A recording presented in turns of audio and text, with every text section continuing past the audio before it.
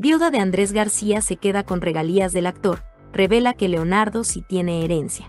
La reciente lectura del testamento de Andrés García ha causado todo tipo de reacciones de los involucrados, pues una parte dispuesta a cumplir con la última voluntad y otra amenaza con impugnar.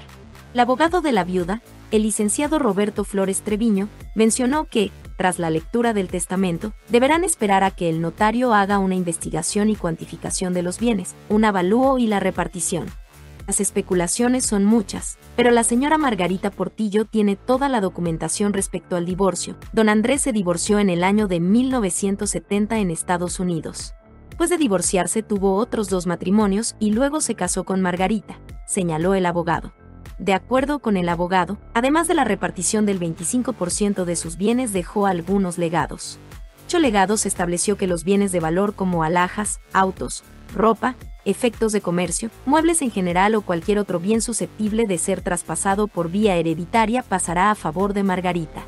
Hechos de propiedad intelectual, biográficos, de imagen y cinematografía son de Margarita. Hechos y regalías de las repeticiones de series y telenovelas serán de Margarita.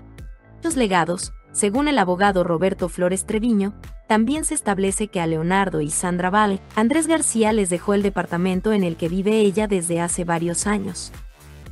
Sobre las propiedades, Margarita menciona que algunas fueron regaladas en vida, además de que durante los últimos años del actor ocuparon sus ahorros para vivir. ¿Y tú qué opinas? Deja tus comentarios y síguenos en Noticias Tendencia.